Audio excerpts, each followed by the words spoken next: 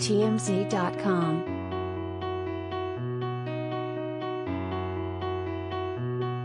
Clint Eastwood wants CBD retailers to keep his name out their mouth, and now Hess suing.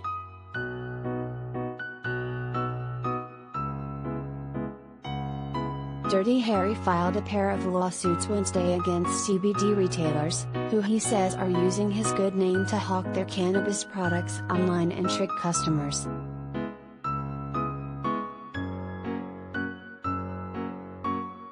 According to the docs, obtained by TMZ, Clint says these CBD retailers are propping up their products by using fake interviews with him where he gushes over their marijuana merchandise.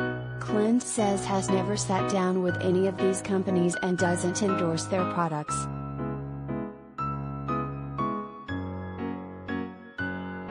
In one suit, Clint also claims CBD retailers are using his name to lure in consumers through Google searches. Yes, this 90 year old is hip to metadata.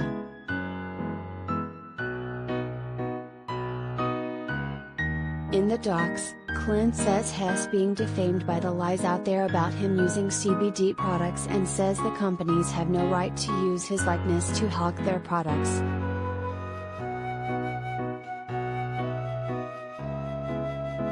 Clint's looking for a big payday here, Hess suing for millions of dollars in damages, for the CBD retailers to cough up made off his name and for injunctions blocking them from using his name and likeness.